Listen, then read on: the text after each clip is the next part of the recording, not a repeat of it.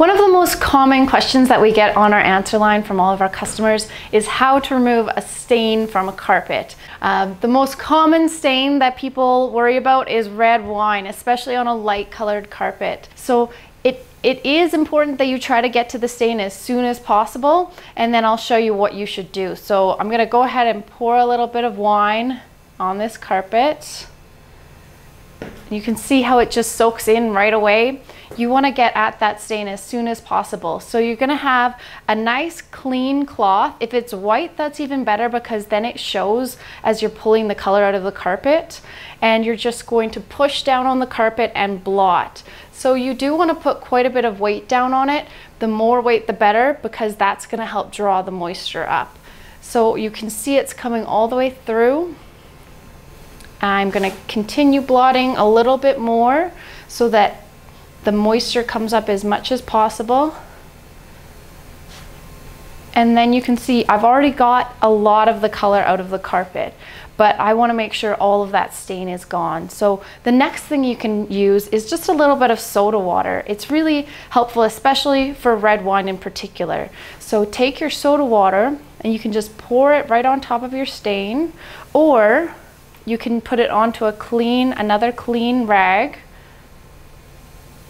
And again, you're just gonna continue blotting. So I'm pushing down and pushing and turning my cloth a little bit so that it's getting as much of the stain pulled out as possible.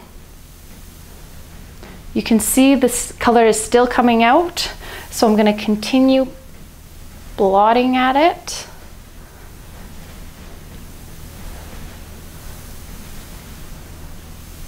And eventually, your cloth should have very little color on it. So if you find that just blotting it with soda water isn't enough, you can actually move on to a carpet stain removal product like Folex. This is a really great product you can find in most grocery stores and it is environmentally friendly. So you're just gonna spray it over top of the stain.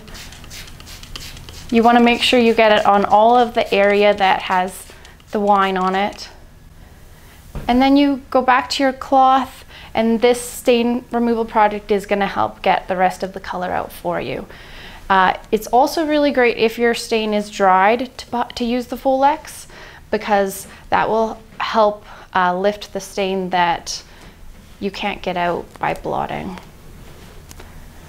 And actually you can see pretty much all of the color is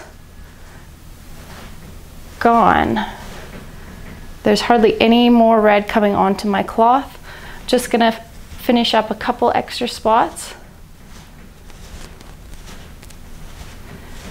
And then you just wanna make sure that you let this spot fully dry. Um, so don't put anything on top of it, no furniture or rugs on top of it, just until it's dry and the carpet is nice and clean.